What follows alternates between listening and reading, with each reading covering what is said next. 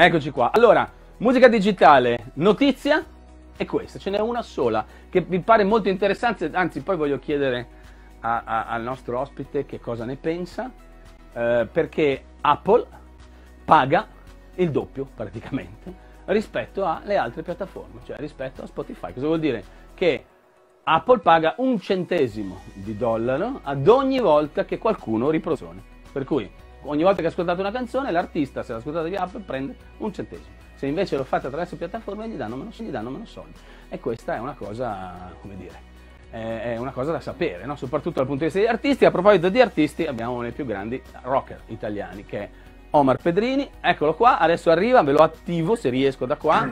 Eh, Omar! ciao a tutti, ciao Marco! Come va? Aspetta che ti fanno un applauso adesso, guardali, eh. Grazie. No, questa è la risata, aspetta, l'applauso è questo qua. Eccolo. No, ma loro sono veri, eh? Sono solo i suoni, eh? Sono solo i suoni. Senti, cosa ne Grazie, pensi di questa grazie. cosa qua della... Sono molto felice di essere con Eh. voi. Grazie, caro. Cosa ne pensi di questo? Complimenti. Hai visto? Ti piace? Eh? Non è male, eh? Male, eh? Molto, molto bella, molto. Senti, Bellissimo eh, cosa ne studio. pensi? Grazie. Cosa ne pensi? Scusa, c'è un po' di ritardo e allora ci sovrapponiamo. Cosa ne pensi di- del- della musica digitale, di cosa è cambiato questo mondo in questi anni e appunto anche di questa notizia che Apple paga il doppio? Cioè, dal punto di vista di un artista come te, che cosa è successo? Cosa è cambiato? Dimmi il tuo parere.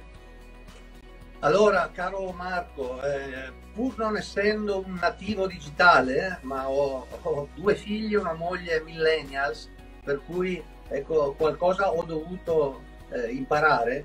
All'inizio della rivoluzione digitale, dopo un periodo di sospetto eh, nei confronti del digitale che sembrava ci portasse via il lavoro, io mh, mi sono espresso favorevolmente perché ho detto è vero, probabilmente ci saranno tante persone che downloadano eh, illegalmente le canzoni e quindi noi non vedremo più il becco di un quattrino. Però mi rendevo conto che comunque sarebbe stato come avere una grande distribuzione gratuita. Quindi se laddove avremmo perso qualche soldino ci guadagnavamo magari in popolarità e quindi potevamo fare più concerti, più eventi, più sponsorizzazioni per quelli che hanno degli sponsor personali.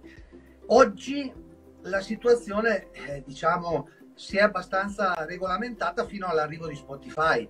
Ehm, qualche giorno fa uno dei miei e so anche dei tuoi artisti preferiti inglesi, Paul Weller, ha, ha rilasciato e ha postato un, un eh, post, appunto, scusate la ripetizione, molto, molto perentorio, molto duro nei confronti di Spotify e diceva eh, ho venduto 3 milioni di persone hanno sentito la mia musica su, su Spotify grazie per le 12.000 sterline no? era molto ironico molto sca- sarcastico addirittura direi questo suo messaggio.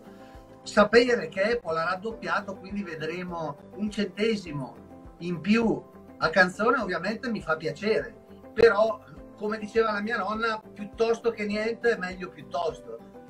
Credo che ci sia bisogno ecco, di dare un input maggiore ancora ai musicisti. Questo passo di Apple, oltre che una mossa sicuramente strategica per guadagnare posizioni e, e appunto affezio- affezionati, aficionados eh, de- delle sue proposte, credo ecco, sarebbe necessario riconoscere più diritti d'autore. La notizia che vi do da editore, siccome sai che sono titolare della Senza Vento Edizioni Musicali, eh, dopo una riunione plenaria di qualche giorno fa con la FEM, con la Fede- Federazione degli Editori Musicali, eh, mi, hanno, mi hanno proprio detto che eh, è, stato è iniziato un discorso propositivo con la comunità europea, anche la Federazione Italiana ha aderito insomma, a, questo, a questo scambio, a questo confronto, quindi sono ottimista per il futuro.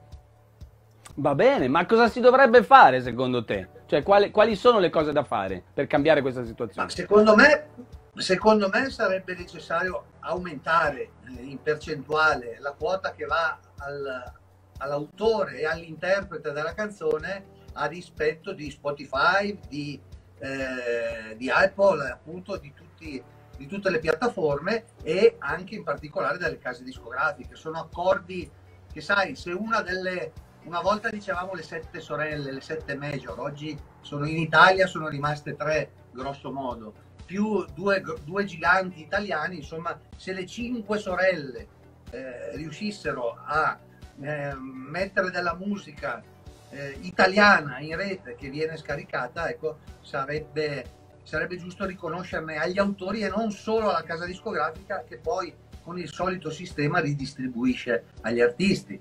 Insomma dei piccoli passi che adesso l'industria discografica comincia ad essere soddisfatta, quindi abbiamo sistemato mamma, adesso pensiamo anche a papà e quindi a noi autori e a noi interpreti.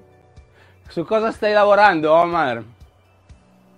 Sto lav- stavo lavorando al disco nuovo già quando abbiamo iniziato secondo, la seconda ondata in Italia eh, per cui eh, ho, ho, fermato il progetto, adesso c'è la possibilità di cominciare a fare qualche concerto unplugged, tu sai che io ho due vesti, una elettrica e una un po' più eh, intimistica unplugged e posso annunciare che da giugno, da metà maggio-giugno, inizierò a fare qualche, qualche serata per eh, tastare il terreno e ci auguriamo tutti da quest'autunno-inverno di ricominciare nei club con la band.